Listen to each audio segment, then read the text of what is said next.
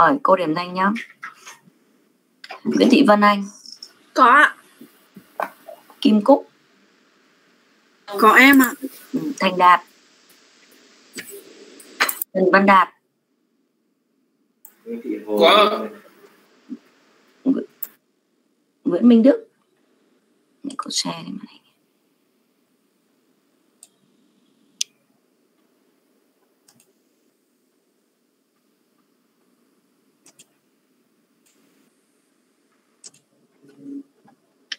Bùi Khả Tùng Dương.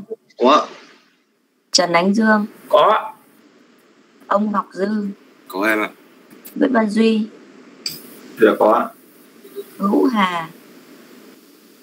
Có cô Đăng Hoàng. Có. Nguyễn Văn Hoàng. Có. Minh Hoàng. Có. Hùng. Có Hường. Có ạ. Vũ Trọng Huy. Có. Khang có. Linh. Có em ạ. Nguyễn Văn Linh. Long. Có. Huyền My. Có ạ. Trà My. Có. Quang Nghĩa. Có. Đắc Phương. Có. Tiến Quang. Nguyễn Tiến Quang.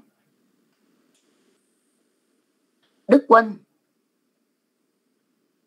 Nguyễn Đức Quân Văn Quyết. Có. Ngọc Quỳnh. Có ạ. Duy Quỳnh. Có. Thế Tâm. Có Xuân Thái. Có Anh Thái. Có. Phương Thảo. Có ạ. Huy Trung. Có. Thành Tuấn. Có Trịnh Minh Tuấn Trịnh Minh Tuấn. Hồng Vân. Có. Quốc Việt. Có cô Nguyễn Văn Việt. Có có Trọng Vũ. Có rồi cô đọc tên lại những bạn vắng nhé Trịnh Minh Tuấn này. Nguyễn Đức Quân. Nguyễn Tiến Quang. Rồi có ba bạn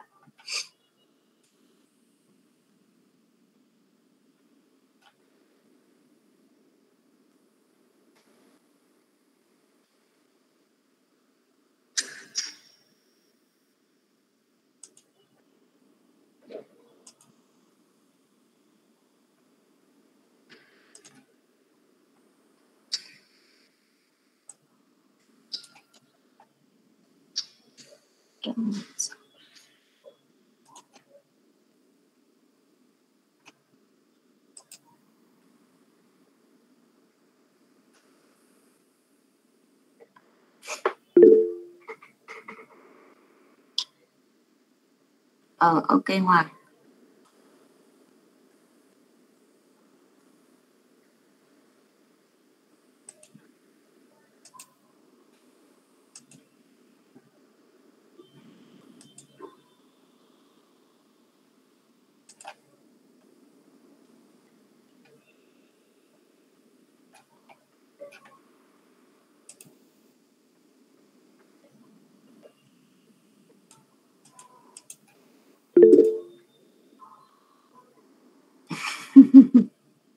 Ừ Việt đi đi.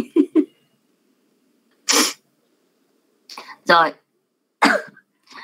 Hôm nay cô ờ, bị ốm. Chính vì vậy mà giọng của cô nó hơi khó nghe. Cả lớp mà chịu khó nhá. Cô sẽ nói một số quy định của lớp của chúng ta. Được không ạ?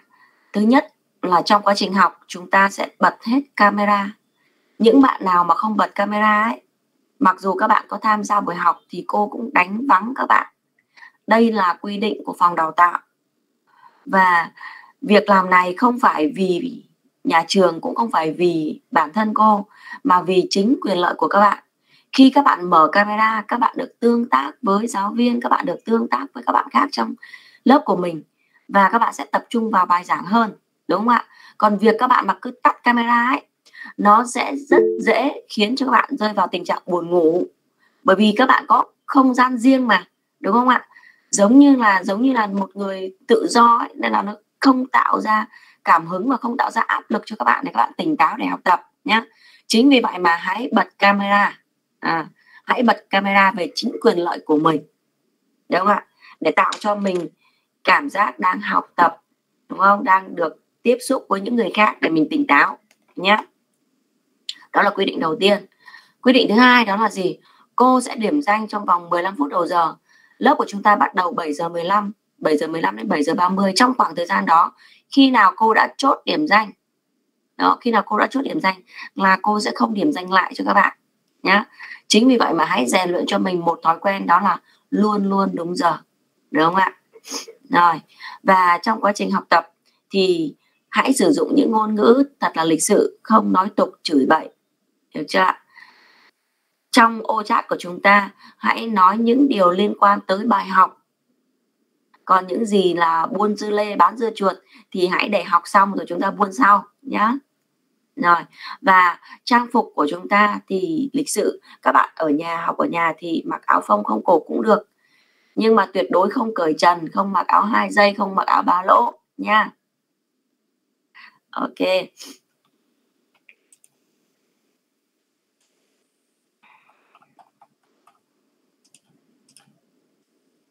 Vậy thì chúng ta sẽ làm quen với nhau một chút. Có bạn nào đã từng học cô hoặc biết cô không? Nếu bạn nào từng học cô hoặc biết cô comment số 1 còn nếu mà chưa thì comment số 0 cô xem nào.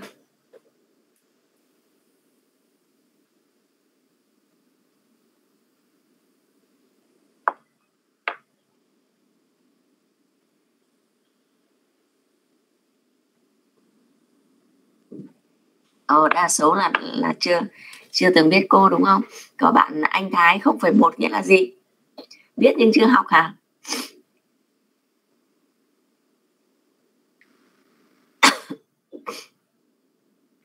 Ok, vậy thì cô sẽ giới thiệu một số thông tin cơ bản về bản thân của mình để cho các bạn có thể hiểu được một chút nhé. Họ tên đầy đủ của cô là Nguyễn Thị Thùy Trang và account ở FPT của cô là Trang NTT2. Trong tổ dạy kỹ năng của trường Polytechnic của chúng ta có rất nhiều cô Trang, đến 4 năm cô Trang đó. Chính vì vậy mà khi mà hỏi về cô cô Trang này thì hãy nói là trang NTT2 thì các thầy cô giáo khác sẽ biết. Còn nếu nó gọi cô trang thì rất nhiều cô trang các thầy giáo cô giáo khác không phân biệt được đúng không nào? Rồi quê gốc của cô ở Quảng Ninh.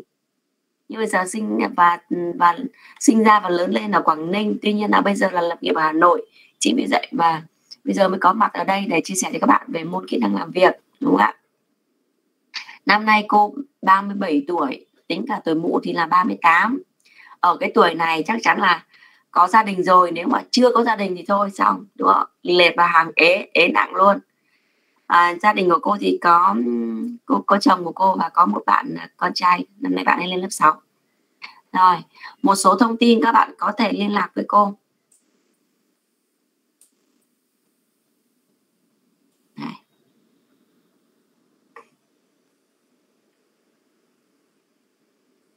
Rồi đây là địa chỉ email, số điện thoại và Facebook của cô.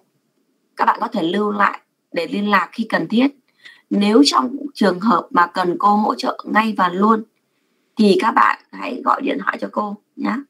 Còn trường hợp mà chưa cần gấp, việc đó chưa khẩn cấp thì chúng ta hãy gửi email cho cô. Cô trong ngày cô sẽ check email và sẽ rep cho các bạn, phản hồi cho các bạn vào buổi tối, được không ạ? Đó hãy lưu thông tin lại.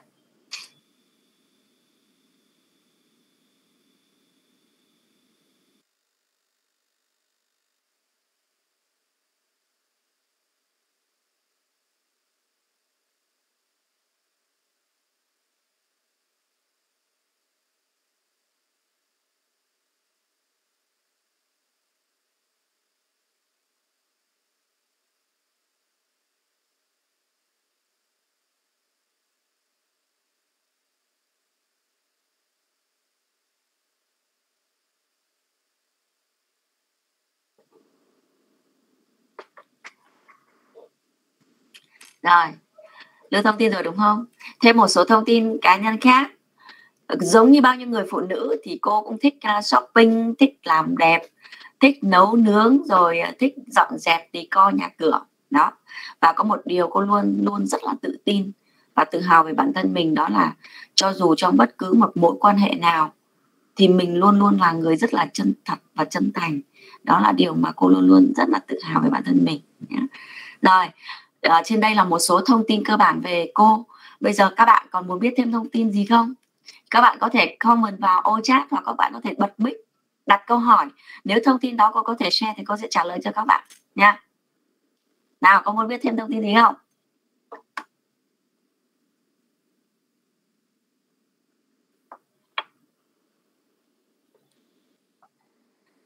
À, vậy là những thông tin đấy đủ rồi đúng không? Đấy, trong quá trình làm việc thì cô trò của chúng ta sẽ hiểu về nhau hơn nhé. Vừa rồi cô đã giới thiệu về bản thân mình cho các bạn biết. Bây giờ đến lượt các bạn, đúng không? Đến lượt các bạn nhé. Các bạn hãy giới thiệu về bản thân của các bạn cho cô và các bạn trong lớp cùng biết về bản thân của mình. Tuy nhiên rằng là chúng ta sẽ giới thiệu trên palette đúng không ạ? Thứ nhất là để tiết kiệm thời gian, thứ hai là để thông tin của các bạn lưu ở trên palette Thông tin lưu được rất là lâu. Và trong quá trình làm việc thì cô cần liên lạc với bạn nào cô sẽ lên đó lấy thông tin số điện thoại cô có thể gọi email có thể gửi. Hoặc là các bạn trong lớp cần thông tin của một người nào đó thì chúng ta cũng có thể lên link cô sẽ gửi. Các bạn có thể lên palette và lấy thông tin liên lạc với bạn đó rất là dễ dàng nha. À, bây giờ cô sẽ gửi cho các bạn link palette.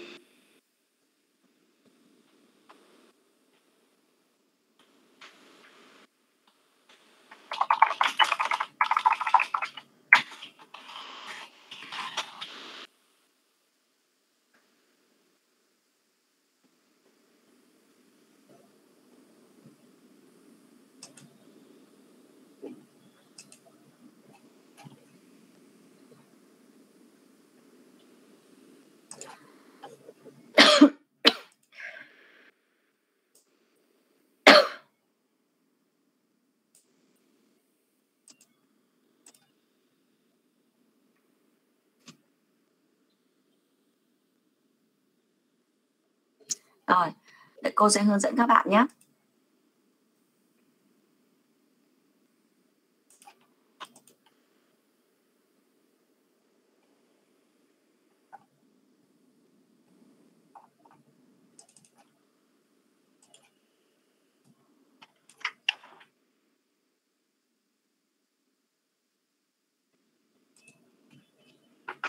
Để tạo một palette này thì các bạn sẽ kích vào cái dấu cộng ở góc dưới cùng bên tay phải. Rồi. Chủ đề thì chúng ta sẽ đề tên của chúng ta nhé. Sau đó, các bạn sẽ upload một hình ảnh mà các bạn cảm thấy thích nhất, tự tin nhất về bản thân của mình, đúng không ạ? Đây, kích vào biểu tượng tải lên này.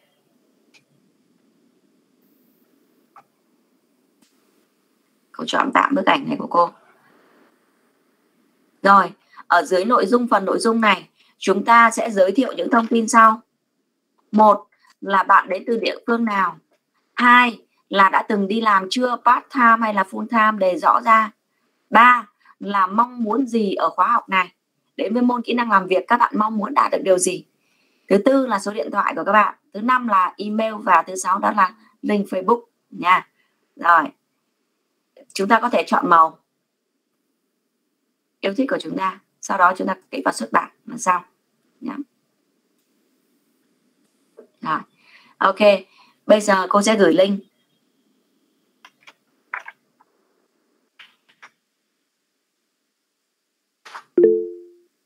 Bạn sẽ có 10 phút để làm quen và giới thiệu làm việc này nhé rồi 10 phút bắt đầu. Xin mời các bạn.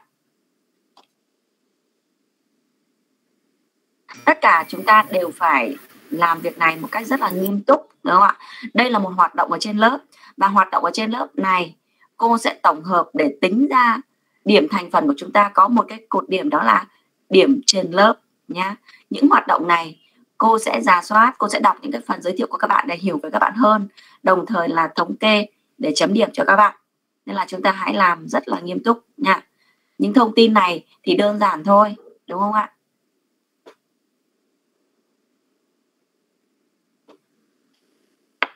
Minh Đức hỏi cô điểm danh rồi. Cô xem là có điểm danh lại cho tụi em được không?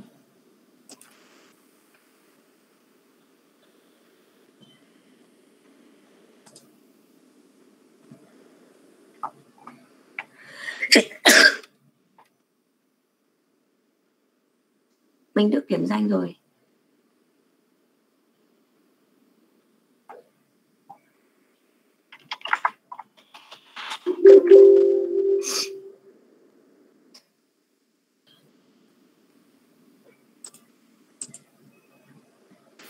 Cô điểm danh em với ạ.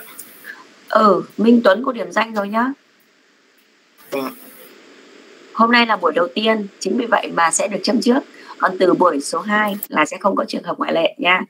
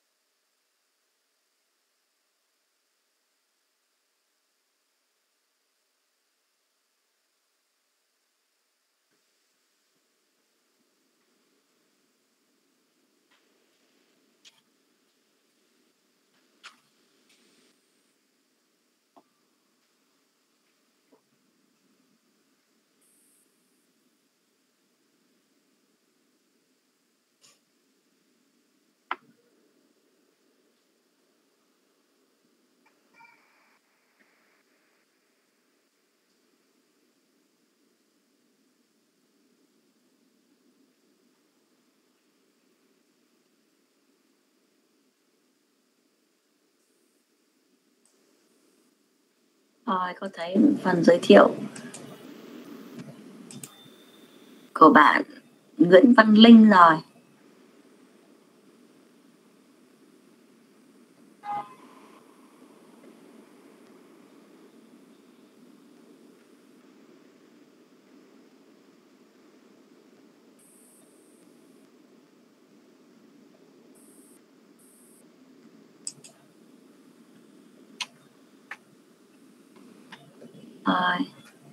Lê Quốc Việt.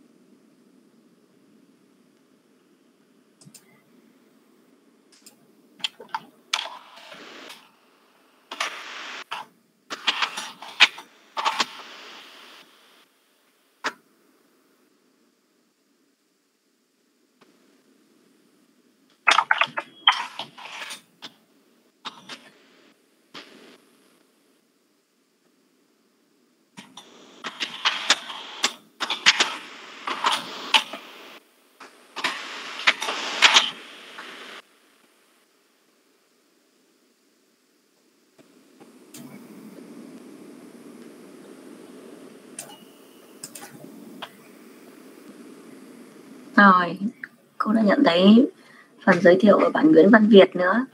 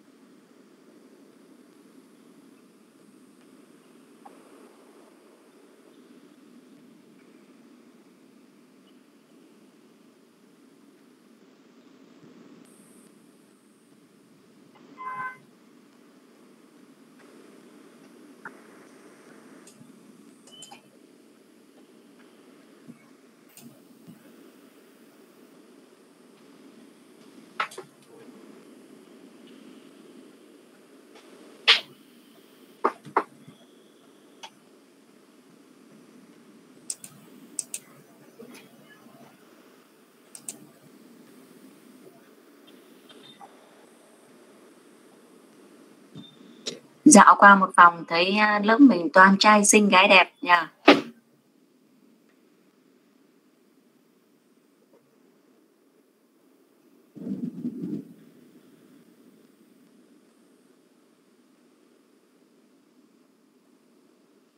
có hai bảy người hoàn thành rồi. Còn các bạn khác nhanh chóng nhá.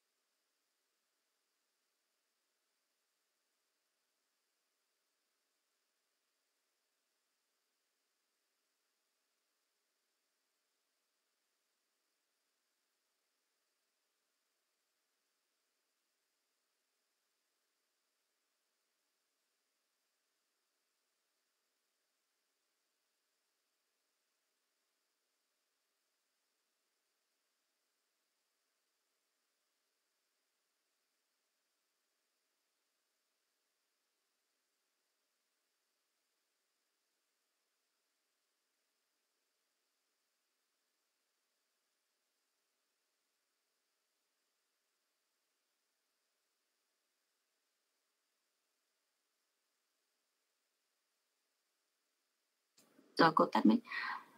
À, hết thời gian rồi đấy cô thấy rằng có 34 bạn hoàn thành còn 5 bạn nữa khẩn trương nhá. Cô cho thêm 2 phút nữa không ạ?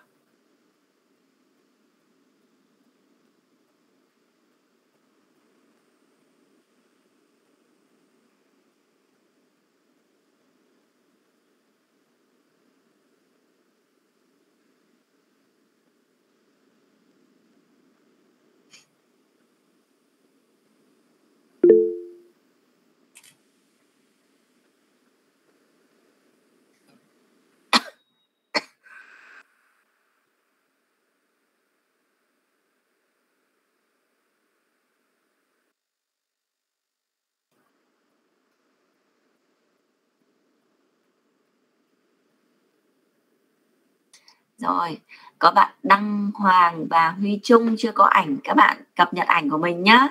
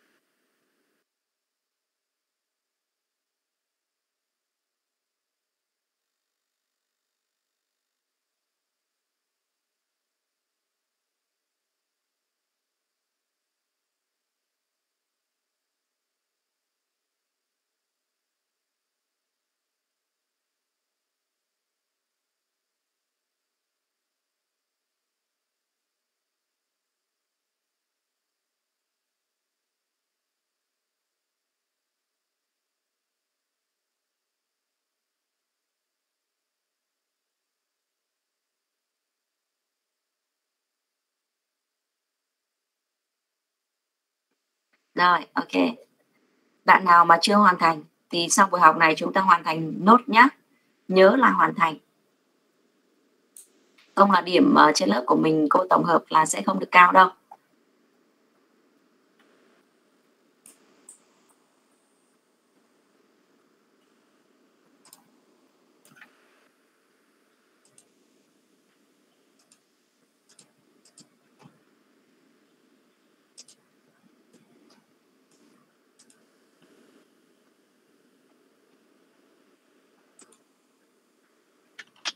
Bao nhiêu bạn còn nhớ hình ảnh này? Bao nhiêu bạn còn nhớ slide này được học ở trong môn nào không? Comment số 1 nếu mà còn nhớ nào. Comment số 0 nếu không nhận còn nhớ. Đây là một cái hình ảnh, tôi nghĩ rằng là các bạn được à, nhìn ở hôm định hướng này. Rồi còn trong một môn học nữa. Còn nhớ học được học ở học ở trong môn nào không? Phương Thảo là quên luôn. À. Slide này các bạn được học ở trong môn nào? Nhớ không?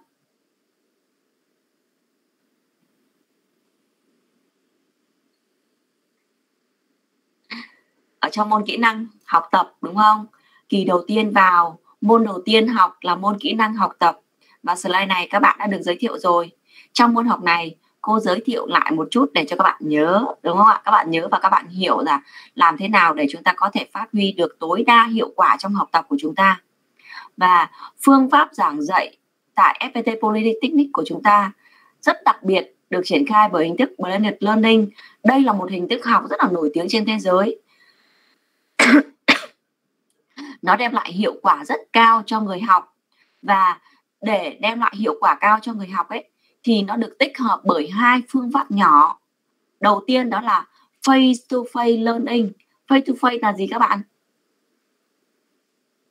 Mặt đối mặt, đúng không? Mặt đối mặt. Nhưng mà còn đây là face to face learning. Nếu như học offline thì cô trò chúng ta gặp mặt nhau trực tiếp. Nhưng bây giờ môn học này của chúng ta học online thì cô trò của chúng ta đang gặp nhau gián tiếp qua internet. Tuy nhiên, mọi khoảng cách, mọi rào cản đều bị xóa bỏ nếu như cô trò của chúng ta thực sự tập trung vào bài giảng và bài học của mình. Đúng không ạ? Không có gì ngăn trở cả tất cả mọi thứ đều có thể nguyên vẹn. Cô truyền kiến thức cho các bạn các bạn lĩnh hội kiến thức các bạn rèn luyện kỹ năng vẫn rất ok đúng không? Nếu như chúng ta đặt cái sự tâm huyết của mình. Rồi tiếp theo nữa là online learning. Online learning tức là gì? Tức là các bạn sẽ học bài trên online. Và giống như các môn học uh, blended learning khác đấy là các bạn sẽ học ở đâu? Ở đâu các bạn học ở đâu? Comment cứ cô xem nào các bạn thường học bài học online đâu?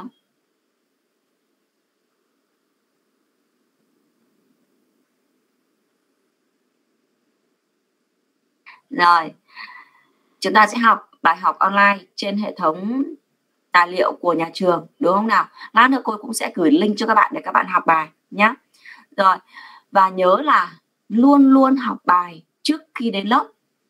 Đó. luôn luôn học bài trước khi đến lớp trên lớp chúng ta chỉ có đi vào thực hành rèn luyện kỹ năng với nhau thôi. Còn chúng ta sẽ không bàn với nhau về câu chuyện lý thuyết nữa. Đúng không ạ? Chúng ta sẽ sử dụng lý thuyết, kiến thức mà các bạn đã học được ở trên online, ứng dụng vào để phải chúng ta thực hành, để hình thành ra kỹ năng cho chúng ta ở trên lớp. Nên là các bạn phải luôn luôn học bài trước khi gặp cô trai đúng không ạ? Luôn luôn học bài trước khi gặp cô nhớ nhá. Và đây là quy định. Bởi vì nếu các bạn không học bài, các bạn không có kiến thức, lên lớp các bạn cũng không biết đường nào mà thực hành. Đó. Rồi, việc này giúp cho chúng ta tiết kiệm thời gian rất nhiều, đúng không? Chúng ta tự học bài học online ở nhà. Lên lớp chúng ta sẽ rèn luyện với nhau để hình thành ra kỹ năng. Đây là một phương pháp mang lại hiệu quả tối ưu cho người học. Còn nếu như mà chúng ta trên lớp chỉ có học lý thuyết lý thuyết thì điều gì sẽ xảy ra? Nó giống như cái phương pháp học truyền thống này. Đúng không? Chúng ta nhìn vào cái sơ đồ này, chúng ta thấy rằng là vị trí của giảng viên là trung tâm, đúng không? Và giảng viên sẽ truyền kiến thức cho các bạn. Mũi tên này truyền kiến thức cho các bạn một chiều. Tức là cô chỉ nói và các bạn chỉ có nghe thậm chí là chỉ có nghe, chỉ có viết thôi, đúng không? Chỉ nghe, chỉ viết thôi. Nếu như các bạn thử đặt mình vào trong một cái cái cái hoàn cảnh như thế nào, các bạn ngồi im để nghe nghe và ghi chép lại những cái điều quan trọng mà các bạn muốn ghi chép, muốn ghi nhớ. Và chỉ người giảng ở trên chỉ nói chỉ nói. Một bên chỉ nói chỉ nói, một bên chỉ nghe chỉ nghe. Nếu như vậy, các bạn sẽ rơi vào cái trạng thái cảm xúc như thế nào? Tưởng tượng nhá, đặt mình vào trong cái hoàn cảnh đó. Thử tưởng tượng xem. Nếu như chúng ta được học trong một lớp học mà giảng viên chỉ nói và các bạn chỉ nghe, các bạn sẽ rơi vào cái trạng thái như thế nào? Comment nữa cô xem nào.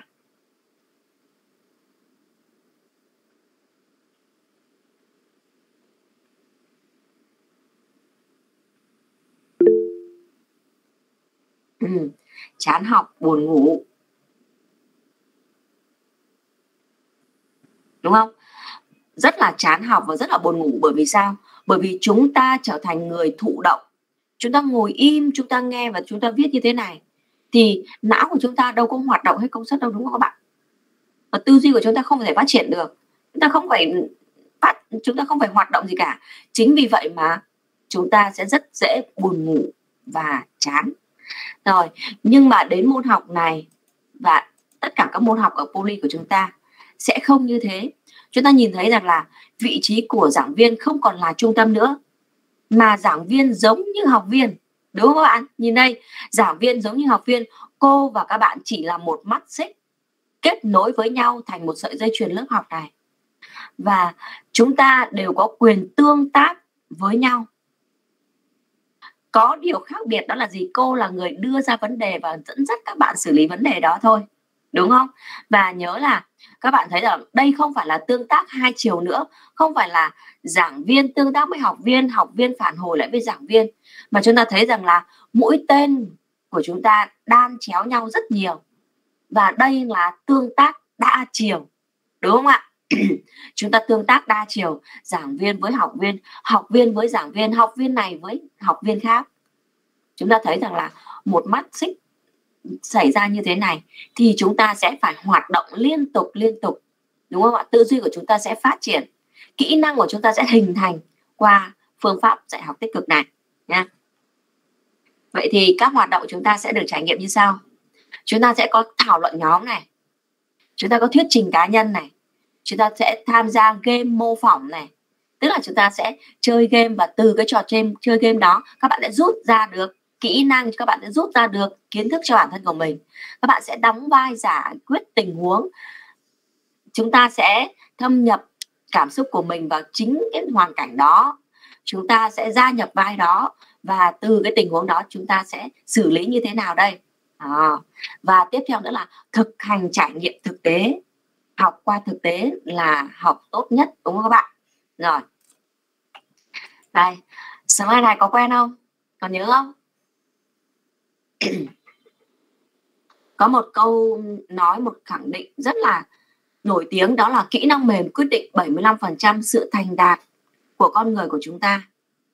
Các bạn hiểu câu này như thế nào? Ai tự tin xung phong chia sẻ nào. Các bạn hiểu câu này như thế nào? Hiểu câu này như thế nào? Cô gọi nhé. Cô mời Lê Anh Thái.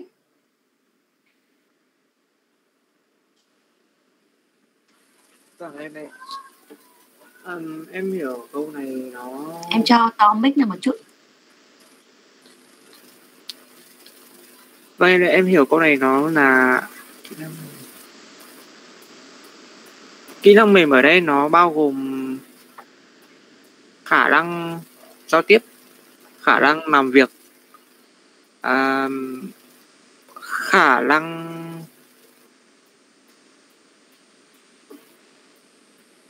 em nghĩ là kỹ năng mềm chỉ là khả năng giao tiếp với khả năng làm việc thôi ạ. À, rồi ok, Đó. nhưng uh, người ta khẳng định rằng kỹ năng mềm quyết định tới 75% sự thành đạt của con người. Vậy thì em thấy rằng là kỹ năng mềm nó có ý nghĩa như thế nào? nó rất quan trọng ạ À. trong một công việc gì đấy trong bất kỳ hoàn cảnh nào Ừ. Rồi ok, cảm ơn em. Dạ. Cô mời mời bạn nữ nhé, cô mời bạn Huyền My nào.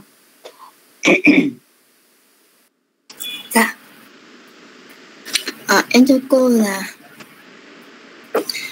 ở trong một tập thể thì những cái người mà có những kỹ, kỹ năng mềm tốt hơn những người còn lại thì họ sẽ Ừ. kiểu ừ,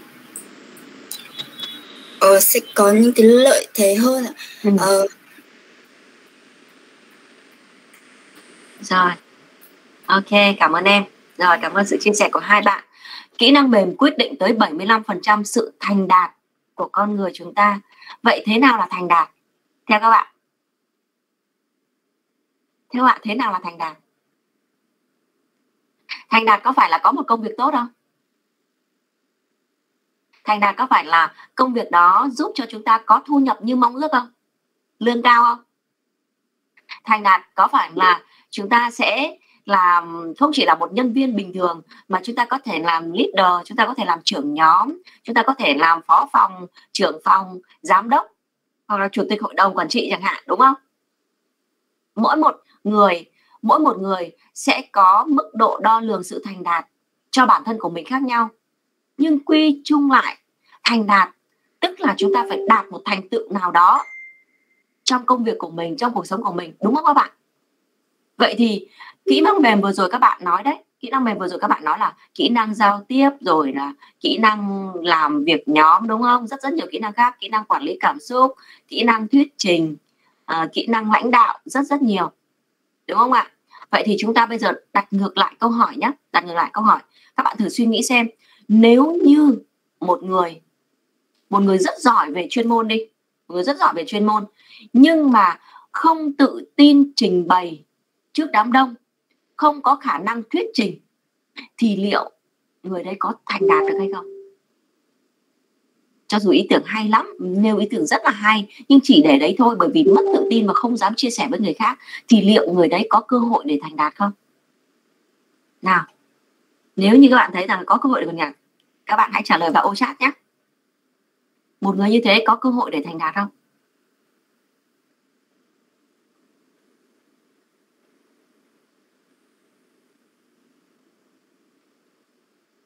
Trả lời vào chat ừ, cơ hội sẽ bị thu hẹp lại. Ừ.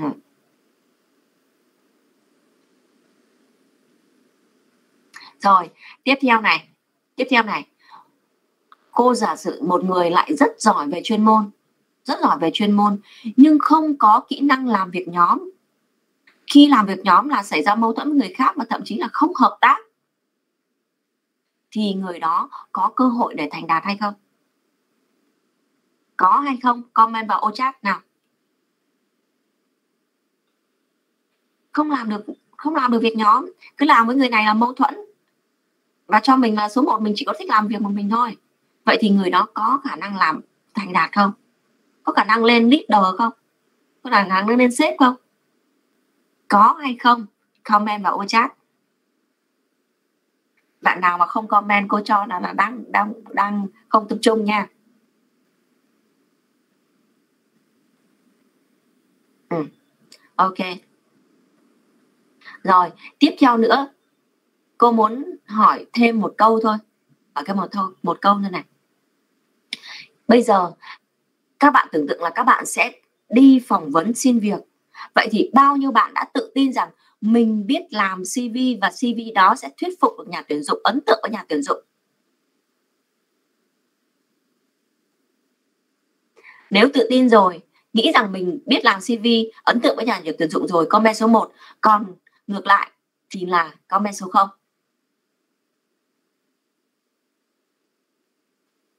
rồi, ok. Vậy thì bây giờ giả sử giả sử các bạn đi xin việc, các bạn tham gia buổi phỏng vấn, liệu các bạn đã tự tin và biết rằng là mình sẽ phải nói như thế nào, trình bày như thế nào, trình bày như thế nào để mình có thể thuyết phục và gây ấn tượng với nhà tuyển dụng không? Nếu tự tin rồi, thì comment số 1 còn ngược lại thì comment số 0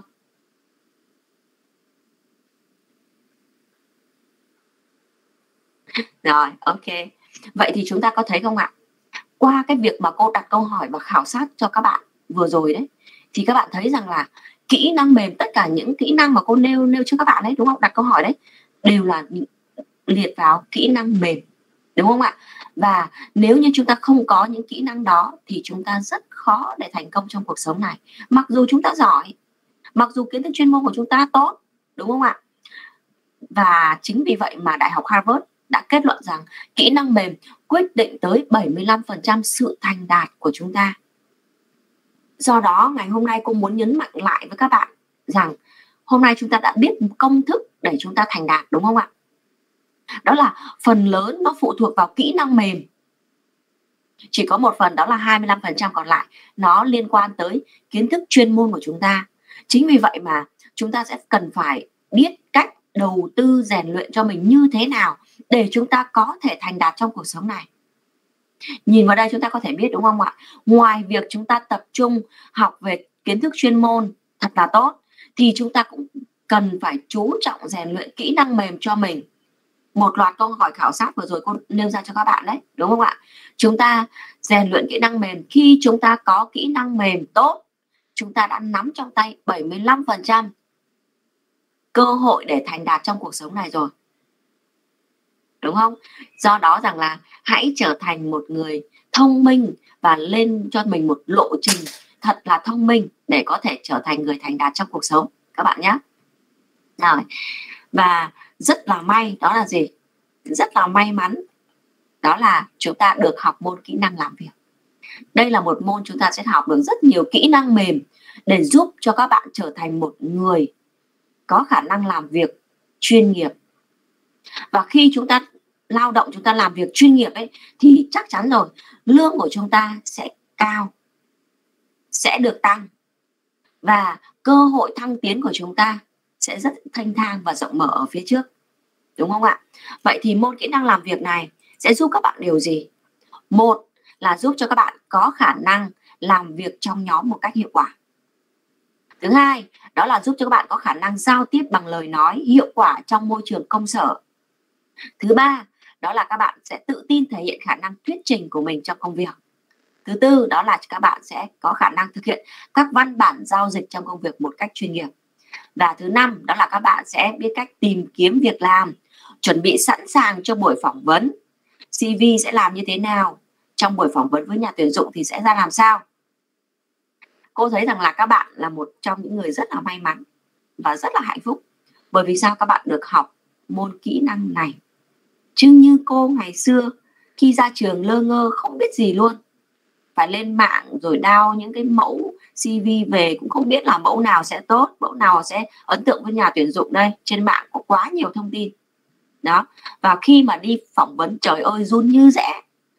Đó, run như rẽ, không biết nói gì luôn.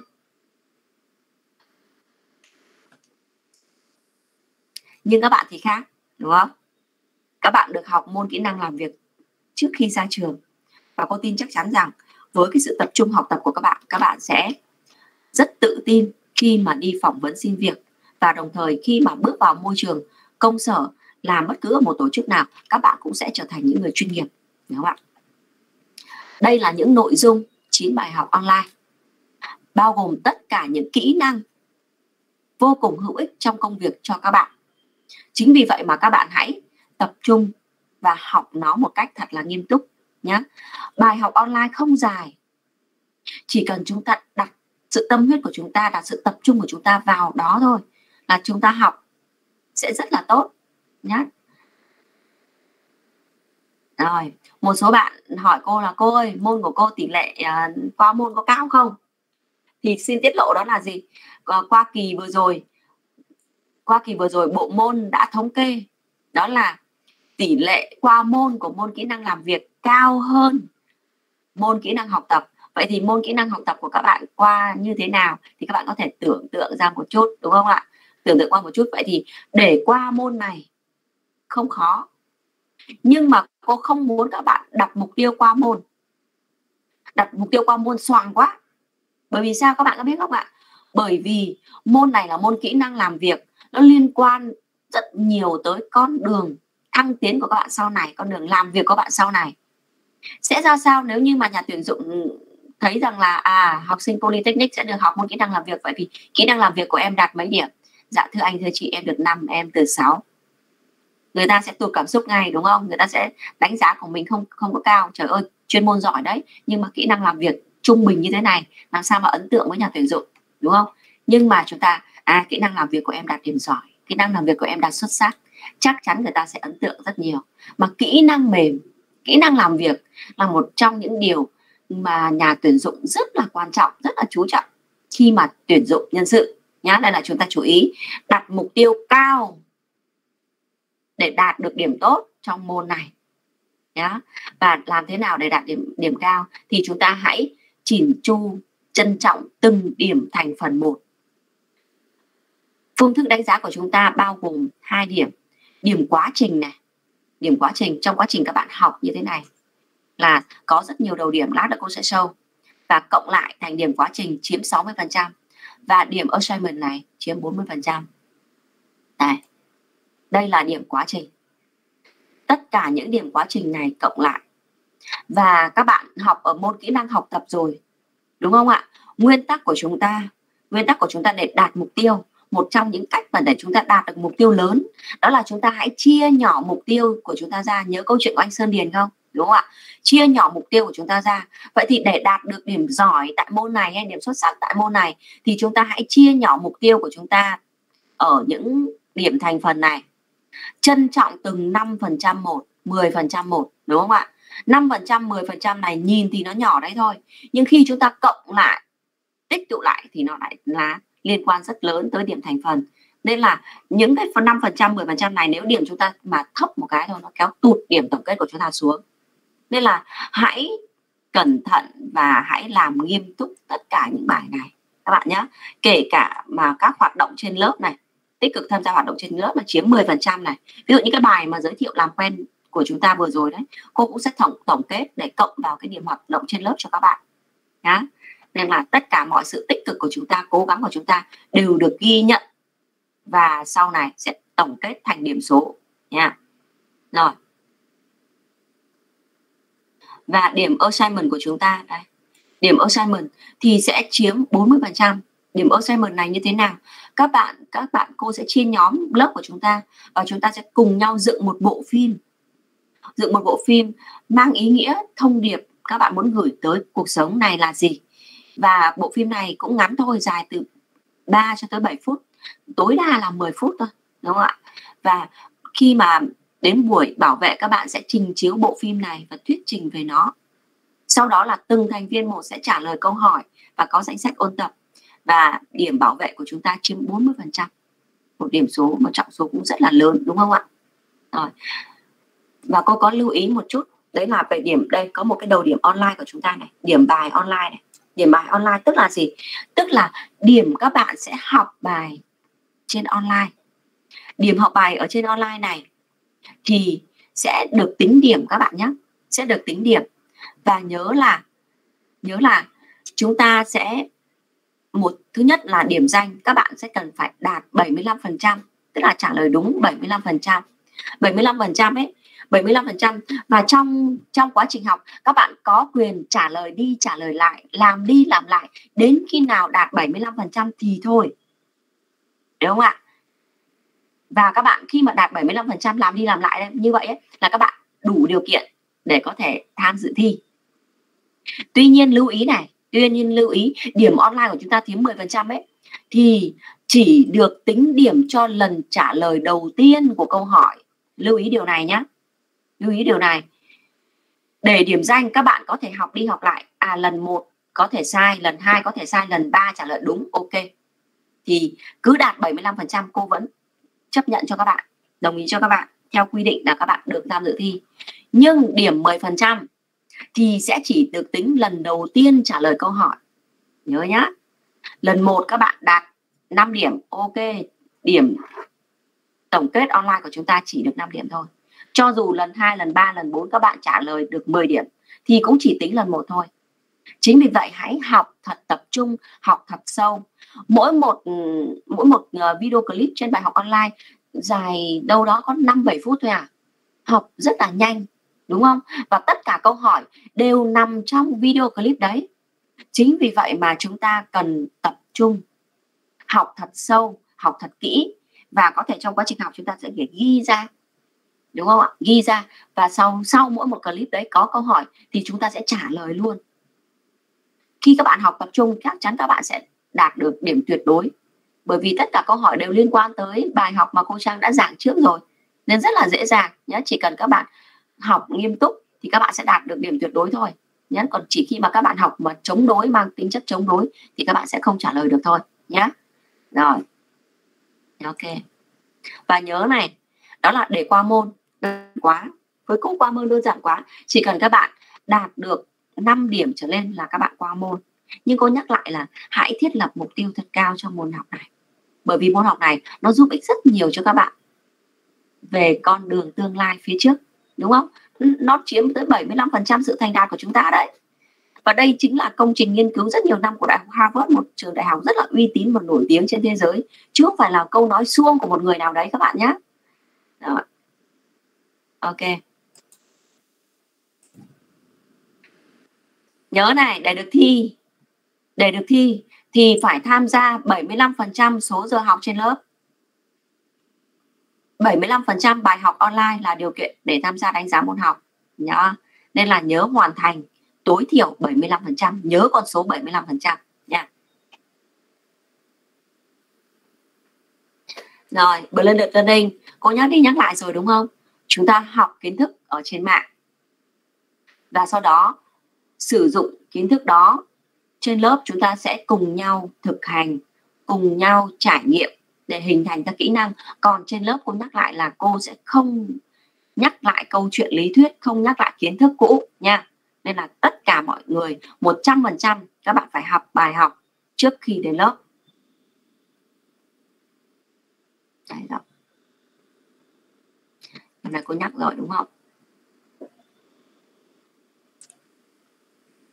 Rồi, bây giờ sẽ có một phần rất là quan trọng. Đó là chúng ta sẽ thành lập nhóm.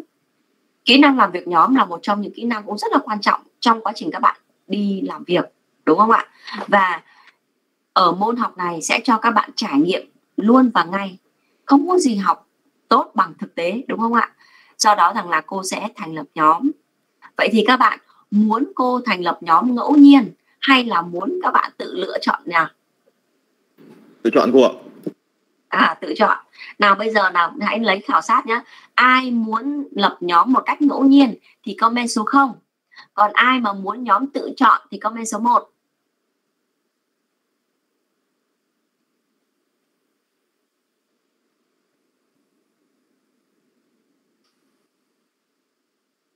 không không, một một, không không. Ok. Vậy thì cô sẽ chốt lại nha câu chắc trở lại đó là chúng ta sẽ quyết định thành lập nhóm, chia nhóm một cách ngẫu nhiên. Vì sao? Vì sao? Cô muốn hỏi các bạn là khi các bạn đi làm, các bạn có lựa chọn được đồng nghiệp không? Các bạn. Bạn xin vào một công ty nào đó các bạn có lựa chọn được đồng nghiệp không? Không thích một người nào đấy, các bạn có bảo sếp ơi, em không thích bạn này, em sếp đuổi bạn ấy sang phòng khác đi, sếp đuổi việc bạn ấy khác đi. Sếp ơi, em không thích làm việc với bạn này thôi, sếp em không không làm nhóm với bạn này nữa đâu sếp loại bạn ấy ra khỏi nhóm đi. Có điều đấy không? Không đúng không? Và các bạn thậm chí các bạn không thích sếp mà à, ờ, sếp tổng của em không, không, không thích sếp em sếp tuyển người khác đi. Các bạn có làm được điều đấy không? Chúng ta không có quyền lựa chọn đúng không ạ? Không có quyền lựa chọn. Chính vì vậy mà nhiệm vụ của chúng ta đó là gì? Đó là chúng ta cần phải học cách thích nghi. Làm được việc nhóm với người mà chúng ta có thể lựa chọn với người mà chúng ta cảm thấy thích và chúng ta thấy hợp nó là tốt rồi. Nhưng mà làm được việc nhóm với người không hợp về quan điểm, không hợp về suy nghĩ, không hợp về tính cách của chúng ta, đấy mới gọi là tuyệt đỉnh công phu. Và có làm được hay không? Làm được hết nếu như chúng ta có kỹ năng. Đúng không ạ? Sau đó cô sẽ chia nhóm một cách ngẫu nhiên để cho các bạn rèn luyện kỹ năng nha. Hãy rèn luyện kỹ năng và hãy học cách thấu hiểu người khác, am hiểu về người khác, đọc vị được người khác. Và chúng ta có kỹ năng, chúng ta sẽ sẽ có cách để giao tiếp với người khác, làm việc nhóm với người khác tốt thôi, nha, không có gì lo lắng cả. Rồi, bây giờ cô sẽ chia nhóm lớp của mình. Lớp của chúng ta có 39 người, thì cô sẽ chia ra làm bốn nhóm.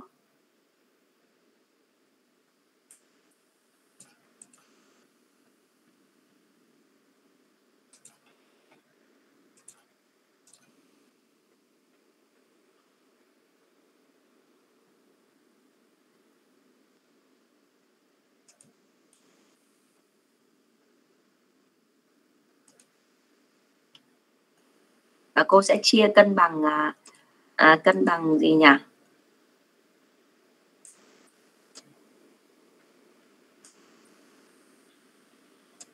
Cân bằng nam nữ một chút nha.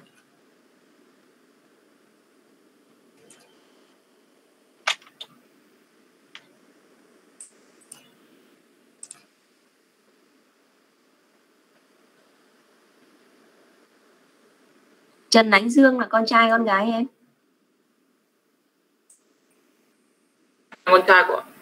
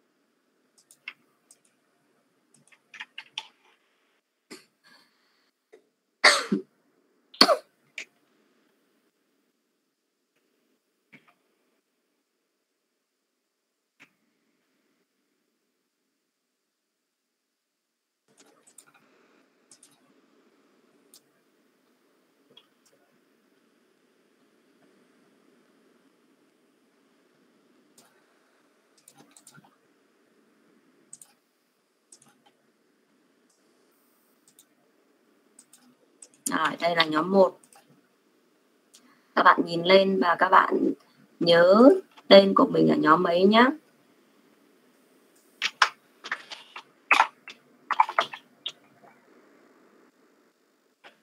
Nhóm 2.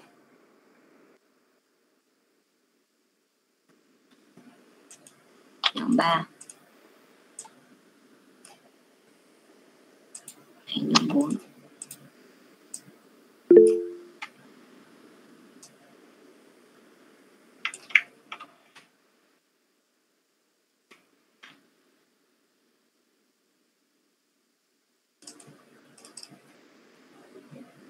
Các bạn hãy comment tên nhóm, số nhóm của mình vào trong ô chat cho cô để cô biết rằng là các bạn đã biết hết nhóm của mình ở đâu nào.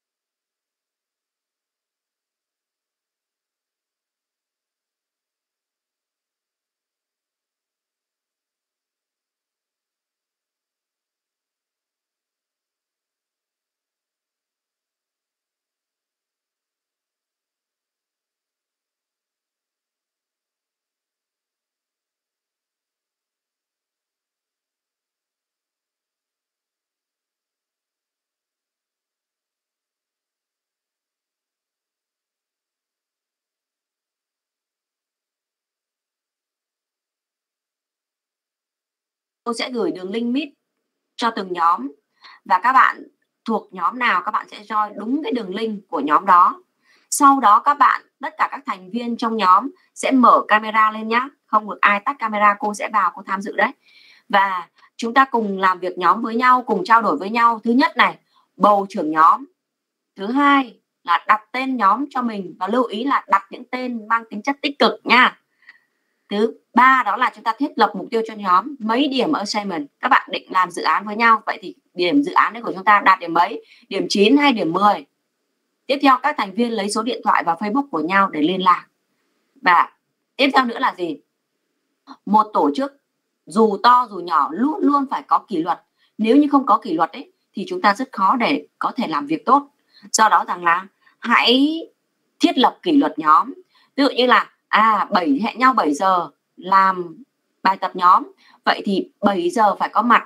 Ai mà có mặt sau 7 giờ xin mời nộp phạt. Có thể 10.000 có thể 20.000 tùy các bạn. Hoặc có thể một hình thức phạt nào đó một hình thức kỷ luật nào đó mà các bạn cảm thấy là hiệu quả nhé và tiếp theo là chúng ta hãy làm một bức ảnh nhóm. Bây giờ chưa không có gặp nhau thì các bạn có thể là uh, đó chụp ảnh ngay trên uh, trên Meet đúng không ạ? Chụp ảnh ngay trên Meet hoặc là các bạn có thể gửi những cái bức ảnh cá nhân và các bạn có thể sử dụng công nghệ các bạn ghép vào ảnh vào với nhau nha. Rồi, ok. Và làm bài tập nhóm này cô sẽ để cho các bạn 20 phút, đúng không ạ? Đến 46 là kết thúc nhé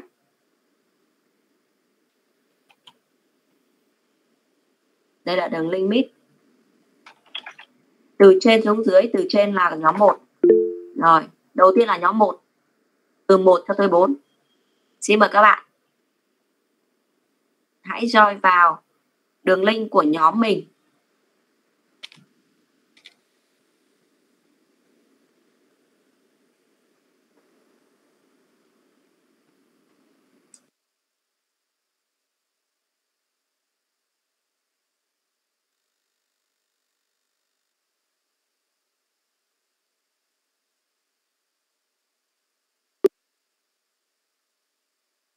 Bạn à, tham gia vào nhóm Zalo này nhé.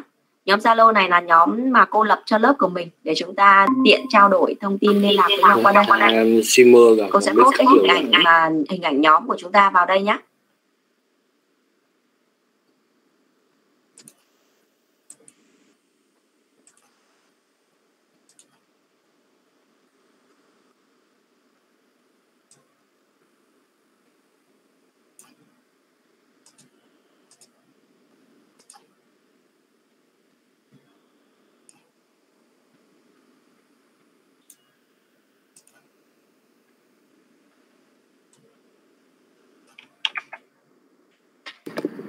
Mẹ trong người có biết bật cam không ấy?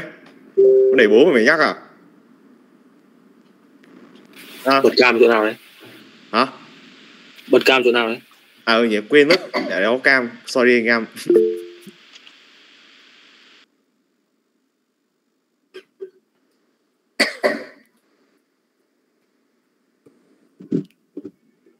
Ở hôm nay ông nào bấm số không nhỉ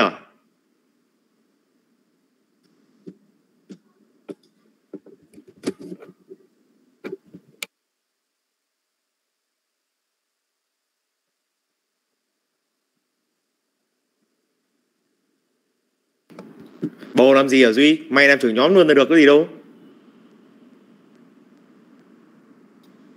Bầu làm gì? Tao nhìn mày có tố chất lắm Duy ạ. Thật, đúng rồi, anh em cứ bầu Duy là được. Duy nhá. Thôi, nhận, nhận đi. Bây giờ mình có kinh nghiệm làm trưởng nhóm thì kỳ 7 mình làm trưởng nhóm ra trường nó dễ Duy ạ. Đúng rồi. Mạnh dạn lên.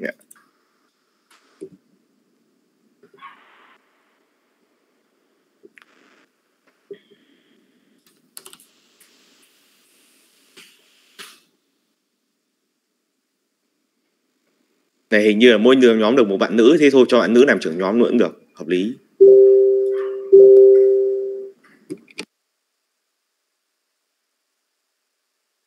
Đúng không? Thế nó công bằng. Gọi là người ta gọi là nữ vương ấy, cho cho là trưởng nhóm luôn, đấy, cho nhanh. Đỡ suy nghĩ nhiều.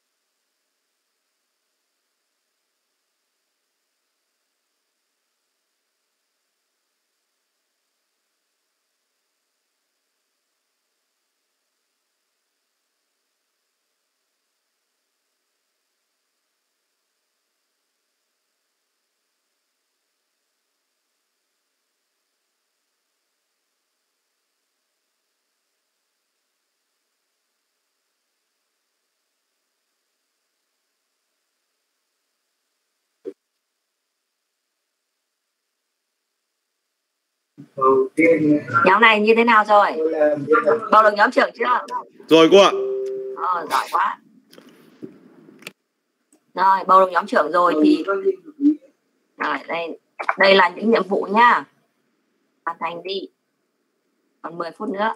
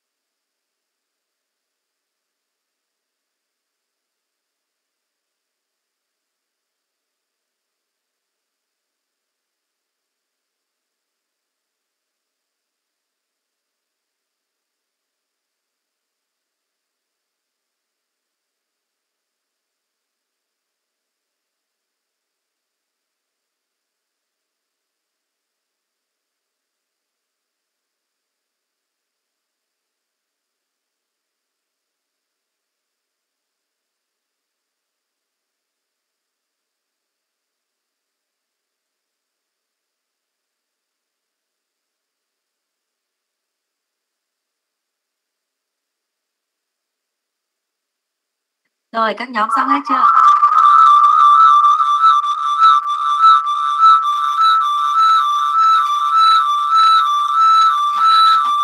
Tắt đi. Ok. À, các nhóm xong hết chưa? Comment bốn tên nhóm trưởng của bốn nhóm giúp cô nào? Vẫn để nguyên cái link meet các nhóm nhá. Lát nữa chúng ta còn một hoạt động nữa.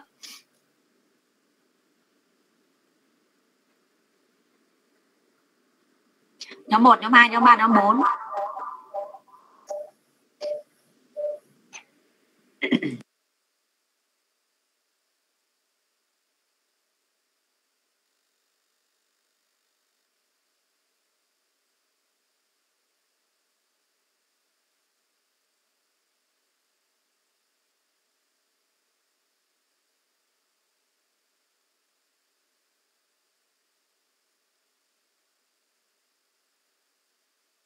đâu, nhóm trưởng nhóm 3 đâu. Rồi, nhóm trưởng Lê Anh Thái, nhóm 4 còn nhóm 3 là ai?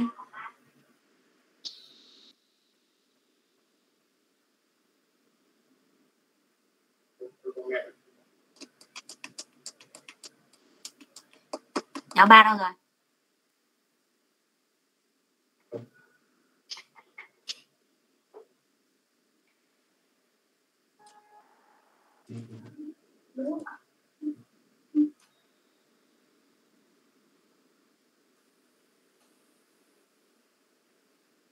À nhóm 3 là Vũ Trọng Huy. Ok. Vậy là chúng ta đã tìm ra được bốn nhóm trưởng, đúng không ạ? Và từ nay cô sẽ làm việc nhóm đầu tiên là sẽ thông qua các nhóm trưởng, nhá.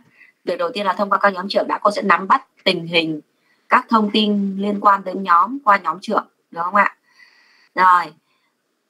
Trước khi đi vào một phần tiếp theo nữa thì cô trò của chúng ta sẽ xem một tác phẩm assignment một dự án mà các anh chị đi trước đã hoàn thành và được đánh giá khá là cao nhé có rất nhiều thì cô sẽ gửi đường link vào trong uh, vào trong nhóm zalo của chúng ta. Nhưng bây giờ chúng ta sẽ cùng nhau xem một uh, sản phẩm nhé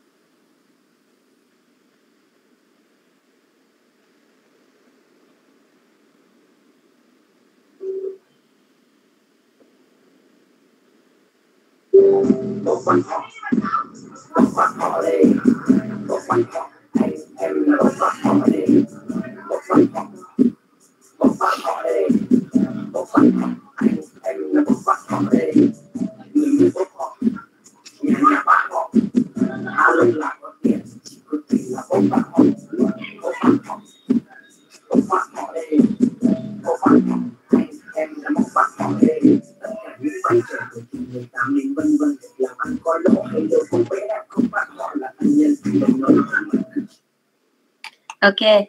À, đây là một sản phẩm một dự án của môn uh,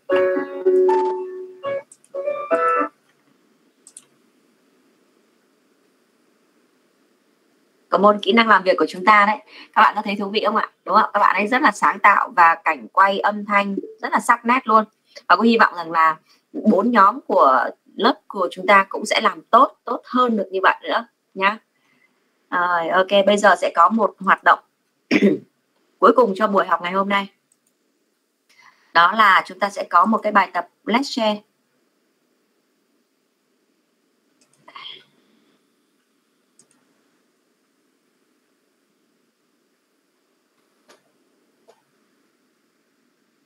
Rồi, bài tập Let's Share này cũng là một hoạt động ở trên lớp cô sẽ thống kê và tính điểm cho chúng ta nhé. Bài tập Let's Share này rất là đơn giản. Cô đã list ra một danh sách các câu hỏi nhiệm vụ của các bạn này. Đó là các bạn hãy về từng nhóm, hãy về từng nhóm vào trong link Google Meet vừa rồi chúng ta làm việc nhóm với nhau đấy. Là thứ nhất là bầu ra một bạn thư ký.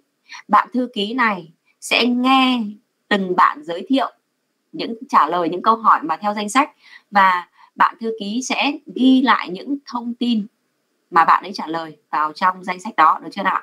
Cái file Google Driver cô đã tạo rồi. Chúng ta sẽ điền danh sách điền thông tin ở trên Google Driver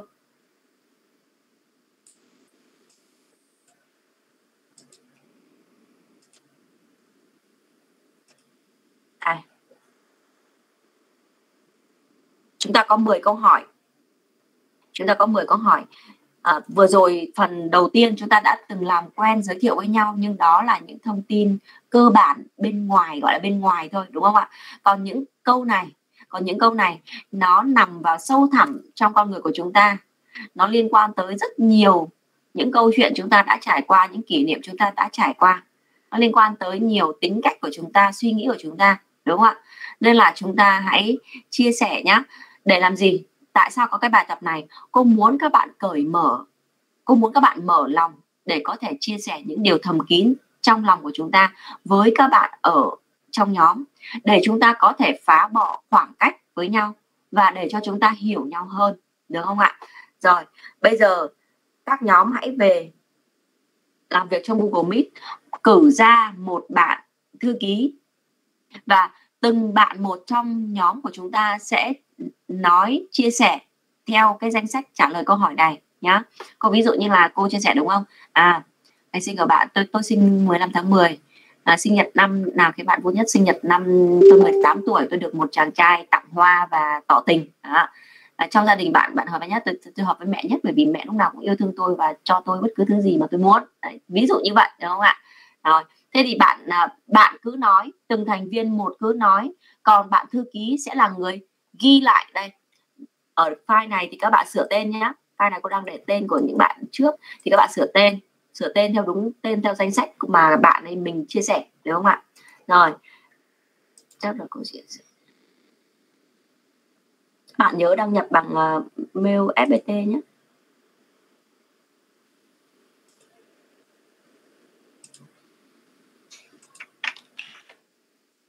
Ok, đây là link Google Meet. Cô sẽ cô sẽ vẫn ở trong đó và tham dự cùng với các bạn, được không ạ? Sau đó thì cô sẽ xem thông tin ở trên này thì cô sẽ biết được là các nhóm sẽ làm việc như thế nào, đúng không? Rồi bây giờ xin mời bốn nhóm và chúng ta sẽ làm việc từ bây giờ. Chúng ta sẽ chia sẻ từ bây giờ cho đến hết buổi học. Khi nào mà nhóm nào xong rồi thì các bạn sẽ out khỏi mít nha.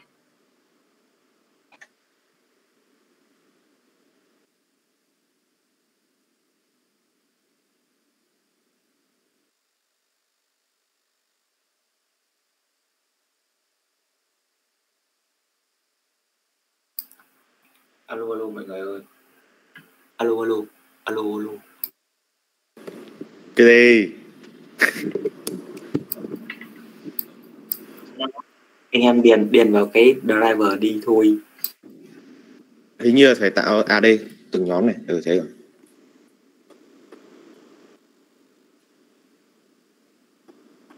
Nhớ sai tên nhỉ? Phải sửa lại tên này Fuck mình với Đỗ Hà ghi mẹ với Đỗ Hưng này.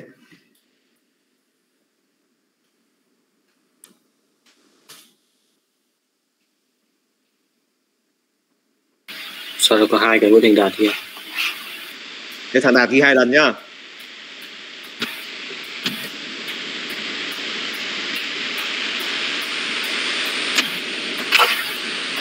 Một một thằng sửa thôi thì nó đỡ bị ấy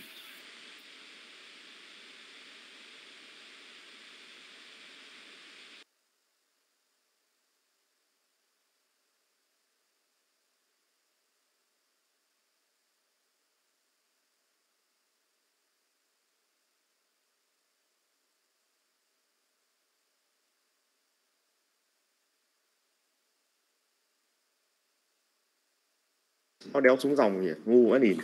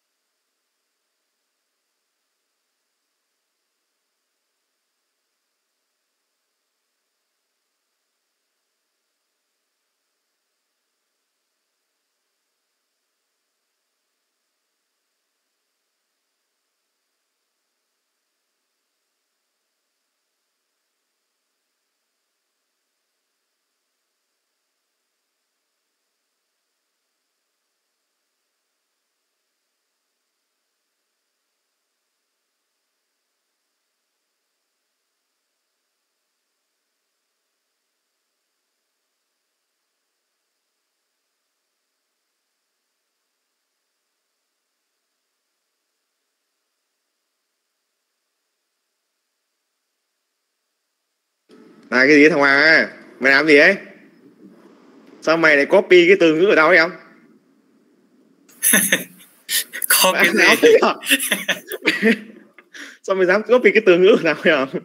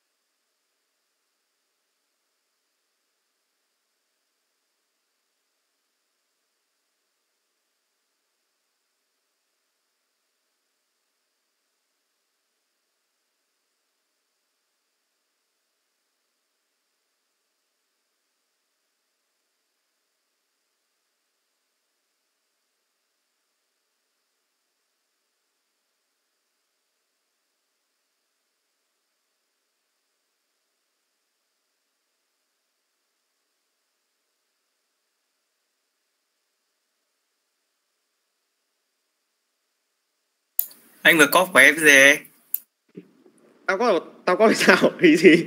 Mẹ tao không được góp của mày, lý do gì tao không được góp của mày nào?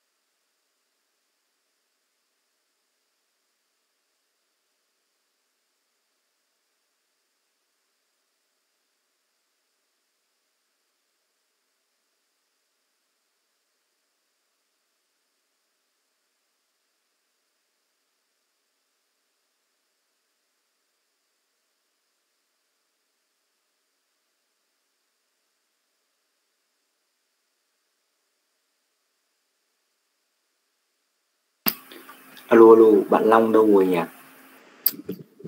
Long bảo là cả cả nhóm ngồi lại đi nghỉ đi sớm. Đây đây tôi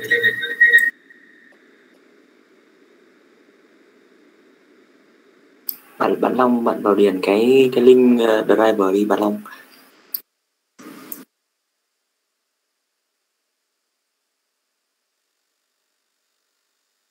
Duy sắp cưới vợ rồi Duy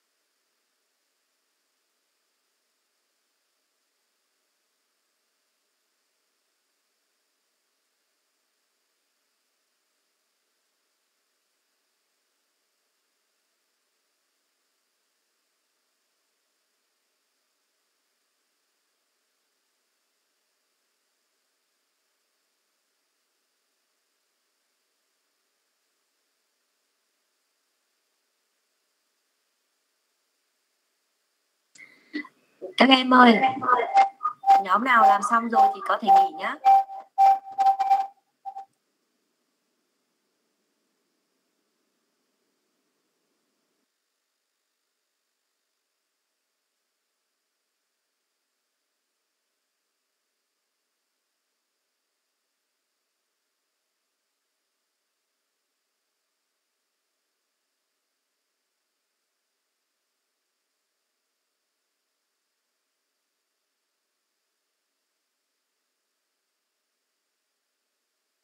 Thì là Duy thoát đi Duy. Duy thoát rồi.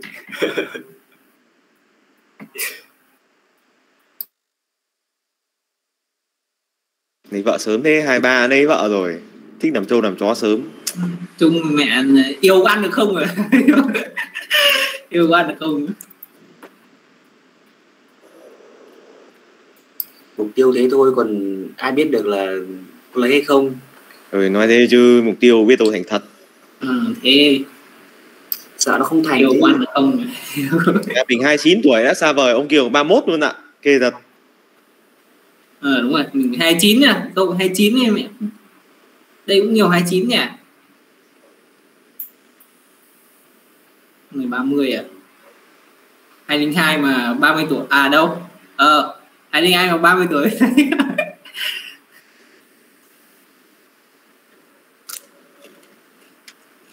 Con này bọn này toàn kính gần gần 30 nhỉ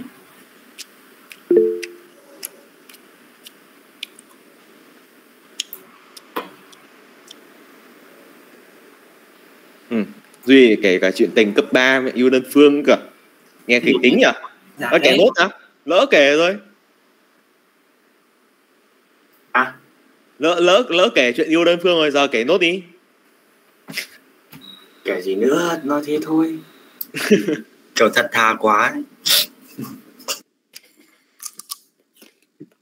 nghỉ thôi em nhỉ, nghỉ thôi nhỉ. Thôi nghỉ ơi, nếu làm một nữa thôi. Nghỉ đi ăn cơm thôi.